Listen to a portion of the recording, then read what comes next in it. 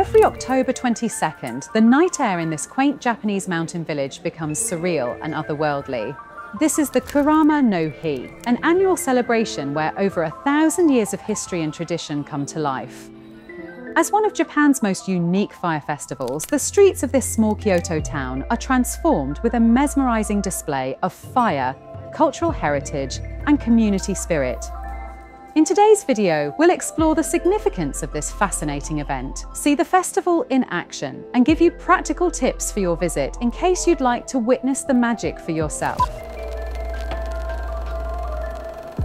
Held annually on October 22nd, the Kurama Fire Festival celebrates over a thousand years of history, marking the relocation of the Yuki Shrine from the Imperial Palace to the town of Kurama. This was originally conducted in 940 AD to appease the gods and protect Kyoto from ongoing unrest and natural disaster. The festival recreates and honours this historic event with a vibrant procession of countless torches illuminating the village, symbolising faith, community and resilience.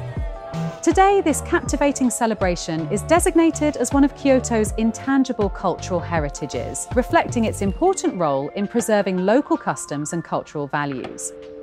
Typically at 6 pm on the day, countless bonfires are lit in the streets and in front of homes.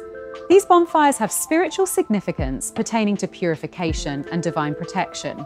They also serve the practical purpose of lighting the ceremonial torches, which are some of the main highlights of the procession. These torches vary in size, with the smallest being carried by young children. The medium and larger torches are carried by adults, with the largest weighing up to a whopping 100 kilos.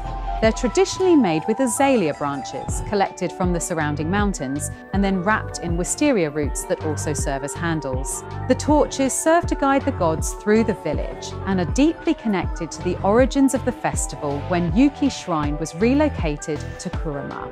It also represents the community effort to honour shared cultural heritage, emphasising the celebration and continuity of tradition.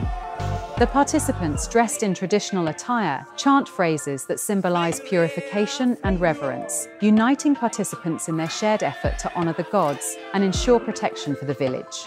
At around 8 pm, the participants gather near the front of the Yuki Shrine where two Mikoshi are prepared to be paraded through the town. The celebrations then continue with fire and fervour until the festival's conclusion at midnight. But now, here's some practical visitation tips since attending the event does come with some difficulties. The most obvious logistics challenge is the crowd, which can be quite substantial due to the event's popularity.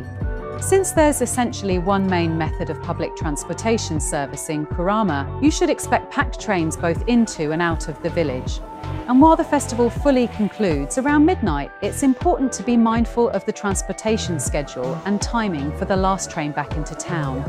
It's also important to keep safety considerations in mind since the torches, as beautiful as they may be, are quite heavy and potentially dangerous. Especially since the streets can be narrow and quite crowded, it's important to give the torchbearers plenty of space. Lastly, and most importantly, it's vital to keep in mind that this is a sacred event for the locals.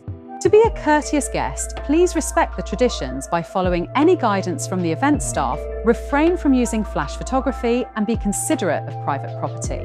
Doing so ensures these vibrant traditions and cultural heritage get celebrated, passed on, and endures far into the future. All in all, the Kurama Fire Festival blends history, spirituality, and community. It's also an exciting opportunity that invites you to experience a different and deeper aspect of Japan beyond the usual tourist spots of Kyoto. And if you're in the area around this time, it's an unforgettable experience worth considering for your itinerary. Thanks so much for watching, and until next time, cheers.